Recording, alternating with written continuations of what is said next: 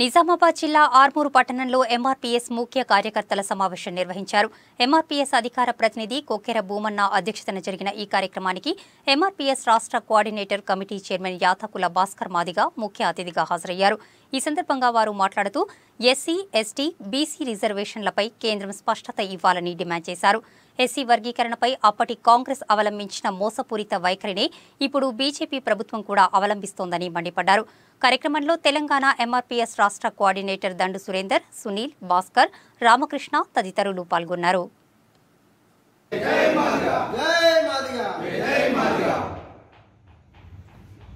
అందరికీ జేబీఎంలు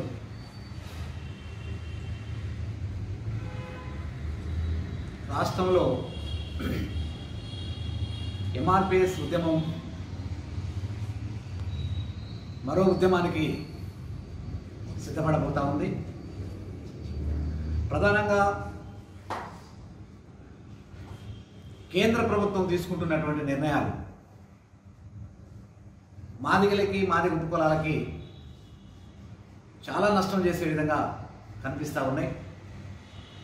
ఓ ప్రక్క స్వయాన ప్రధానమంత్రి మోడీ గారే గారు లేకపోతే నేను లేను అని చెప్పి ప్రకటన చేసినటువంటి సందర్భాన్ని కూడా గుర్తు చేస్తూ అదే బీజేపీ పార్టీలో ఉన్నటువంటి నాయకులు ఆర్ఎస్ఎస్కు సంబంధించినటువంటి నాయకులు మాట్లాడుతున్నటువంటి మాటలు.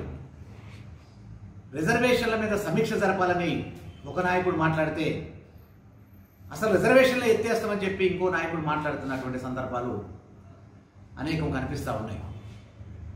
వాళ్ళ మేము అంటా ఉన్నాం ఏ బాబాసాహెబ్ అంబేద్కర్ అయితే భారత రాజ్యాంగాన్ని నిర్మించి ఇవాళ నీకు పరిపాలన అధికారాలు రావడానికి కారకుడయ్యాడు.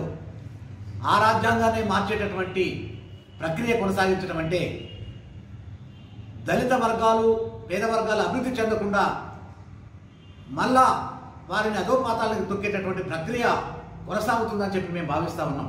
బాబాసాహెబ్ రాసినటువంటి ఆర్టికల్ వల్లనే ఇది ఏర్పడ్డది అని చెప్పి చెప్తున్నటువంటి ముఖ్యమంత్రి గారు మరి బాబాసాహెబ్ గారు ఇచ్చినటువంటి మా హక్కులను ఎందుకు నెరవేర్చట్లేదో కేసీఆర్ గారు చెప్పాలని చెప్పి మేము డిమాండ్ చేస్తాం.